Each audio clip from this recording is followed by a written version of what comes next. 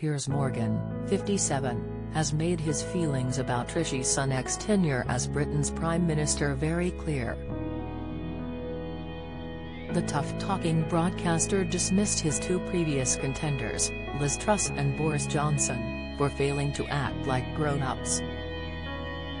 Whatever your politics, I find it reassuring to finally have an intelligent, articulate, conscientious grown-up like at Rishi Sunak running the country, after buffoon Boris and Liz less popular than a lettuce truss, he exclaimed to his 8.4 million followers.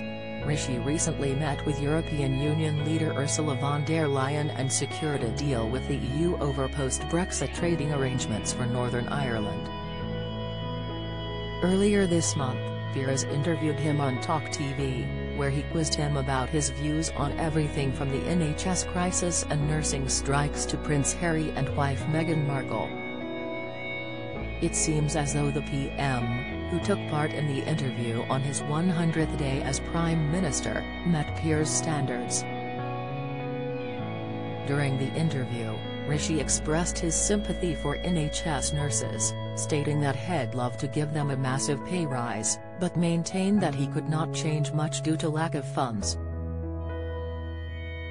Though he defended that there simply isn't money to fund them further, he stated that he was looking into hospital car parking charges in a bid to lift some of the strain on nurses. On the subject of the royals, Rishi refused to be drawn on his opinion of whether Prince Harry should be invited to King Charles' coronation.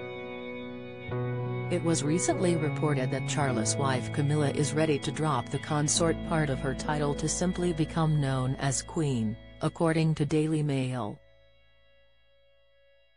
However, Rishi sidestepped the subject simply praising that the ability to spend time with Charles was one of the great privileges of the job. King Charles does an incredible job.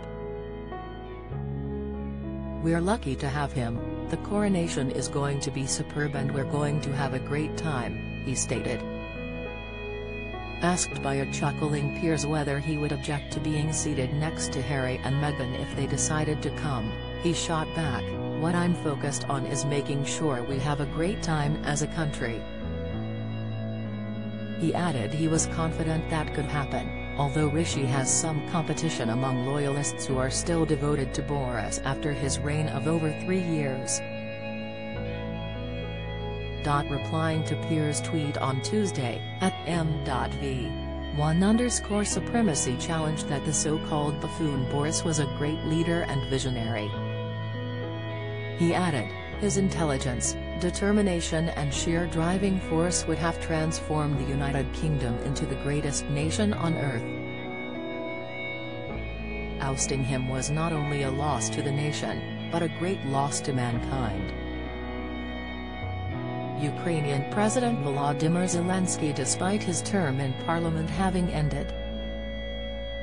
I think all of our leaders have a way of continuing to contribute to public life and that's a good thing, he stated. Rishi added, it's great that we've got former prime ministers. They've got experience that they want to share. Meanwhile, even those who were not fans of Boris still linked Rishi to him, with Ateli McKeveney quipping, he was in Johnson's government. He lied, he was fined. Yes, so reassuring. The Prime Minister was fined in January for not wearing a seatbelt in the back of a moving car. However, at Baz 259 echoed Piers' confidence in Rishi, writing, spot on. This is what serious leadership brings to the country. Absolute success and I am pretty sure, the economy will be on track.